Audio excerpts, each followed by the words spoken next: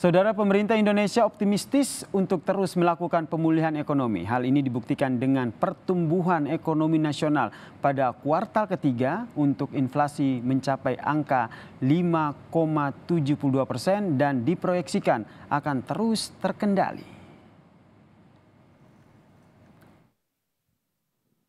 Didukung dengan kemampuan penanganan pandemi yang baik, percepatan vaksinasi, peran APBN sebagai shock absorber, dan tingginya harga komoditas unggulan hingga kesuksesan presidensi G20 membuat Indonesia mempunyai kemampuan untuk meningkatkan pertumbuhan perekonomian nasional. Pemerintah memproyeksikan pertumbuhan ekonomi nasional tahun 2023 sebesar 5,3 persen.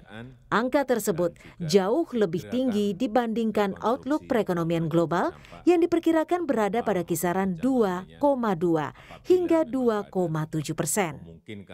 Hal tersebut disampaikan Menko Perekonomian Erlangga Hartarto usai mengikuti sidang Kabinet Paripurna terkait perkembangan perekonomian tahun 2022 serta proyeksi perekonomian tahun 2023.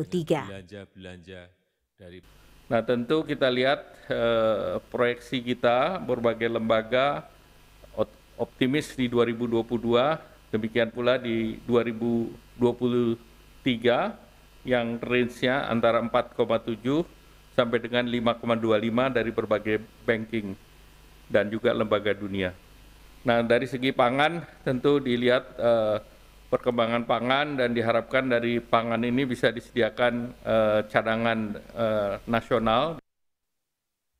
Untuk meningkatkan perekonomian nasional, pemerintah juga memperhatikan ketersediaan komoditas bahan pangan pokok, serta mempercepat perizinan electric vehicle dan perencanaan implementasi biodiesel 35 persen untuk tahun 2023.